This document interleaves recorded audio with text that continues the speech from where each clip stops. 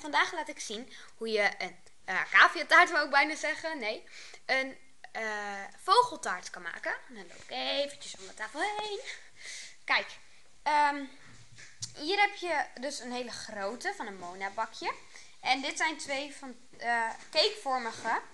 En dat is best wel grappig. Maar vandaag, nu laat ik zien hoe je deze, en ik vind die echt heel erg leuk. Het is een tabak ding, ding, ding.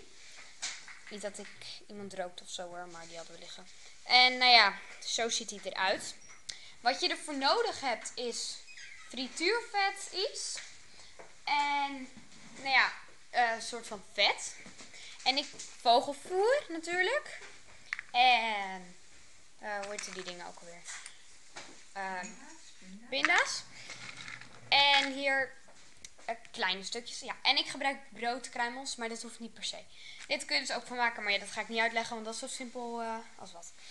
Um, gaan jullie het dus steeds zien. Oh ja, trouwens, het is uh, zoutloos frituurvet moet het zijn, want anders is het niet goed voor de vogels. Um, nou, ik ga eerst heel even uitleggen hoe het een beetje moet. Je maakt eerst steeds een laagje van 2 centimeter en daar overheen doe je dus wat gesmolten frituurvet. En dat, uh, dat doe je dus steeds. Totdat het helemaal vol is. En dan ziet het er heel leuk uit.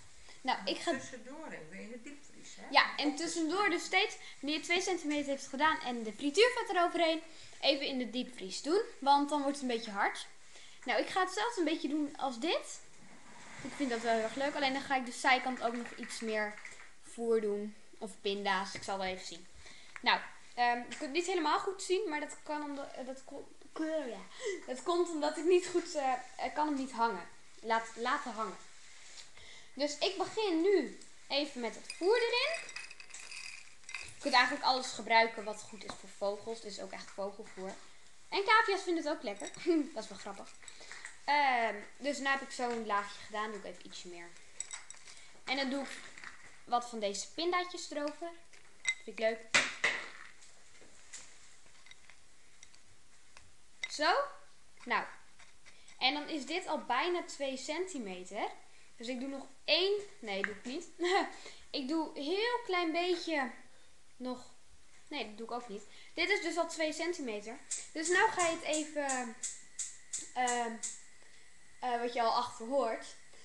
Uh, doe je even wat boter en dat doe je er schouw overheen. En dan wordt het eventjes wordt het warm. Dus, en dat doe je eventjes. Doe je dus, hier zie je het, je ziet het niet zo goed, maar goed. En dan uh, doe je dus dat frituurvet gebeuren.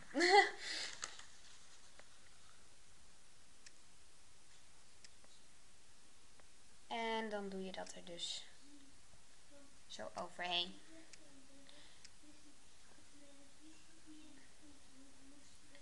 Dus dat doe je dan. Ja. Nou ja, en dan uh, zet je het even in de vriezer. Weer. En het is nou hier is het opgedroogd. Dus nou doe je er gewoon een nieuw laagje overheen. En dat gaat nu worden even een stukje brood. Je moet trouwens in de, ding laat, uh, in de diepvries laten zitten totdat het een beetje droog is. Dus ook niet heel erg lang. Ik ga eventjes iets kleinere stukjes brood doen. En dan ziet het zo uit. Ja, het is best vervelend dat ik mijn camera niet kan ophangen. En, maar het moet wel stabiel beeld zijn. want anders dan heb je ook dat weer. En dat wil je natuurlijk ook niet. Uh, dus, nou. En dan doe ik er wat voer overheen. En dan ga ik nou ook even wat pindaatjes, iets meer pinda's bij doen. Maar wat ik dus zei, ga ik de binnenkant ga ik pinda's doen. Nee, alleen aan de buitenkant zo. In het midden bedoel ik. Ja, ik kom niet uit mijn woorden. en dan aan de buitenkanten doe ik wat, um, nou ja, uh, zaadjes dingen. oh, ik heb ze hier ook in een bakje gedaan. Dat heb je dus gedaan. Uh, en nou doe ik er weer gewoon wat voer. Ja, ik doe heel veel voer gebruik ik, maar... Zo. Nou, en dan pak ik weer, dan loop ik even naar het fornuis toe. Tada. Nou, is, zie je dit? Ik ga heel even een lichtje aandoen. Zo. Dit dus. En nou doe ik heel eventjes op... eh moet ik even zoeken hoe dit ding werkt. Zo. En dan over een heel laag pitje. En dan moet het gewoon... Zie, ik doe het er echt totaal niet lang op.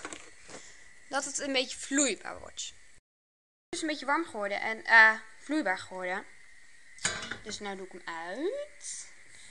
Zo. Ehm en dan doe ik het er een beetje op. Heel klein beetje. Kijken of dit me lukt met één hand. Zo.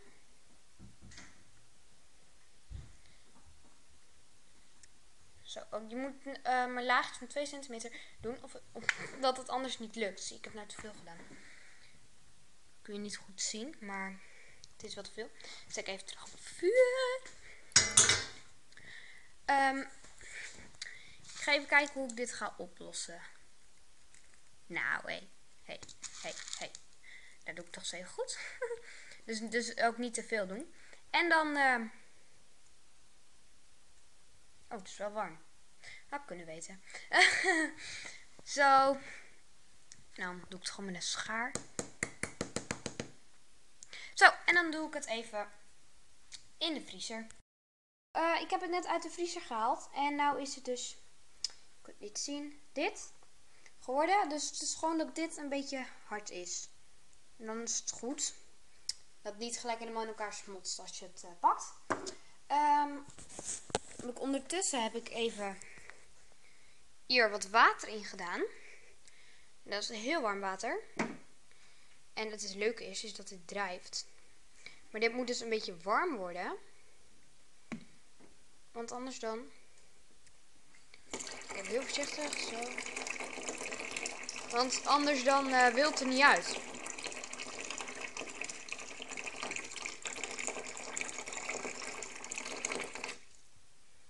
Zo, ik doe heel even een lamp aan.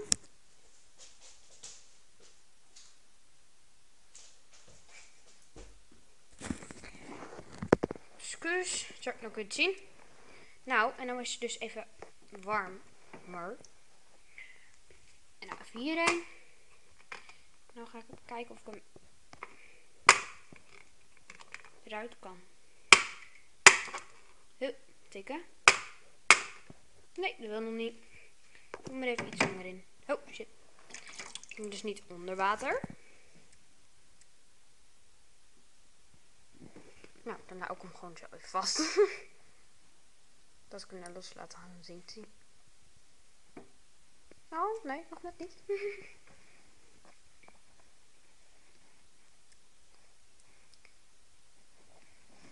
nou, misschien wel, nou wel.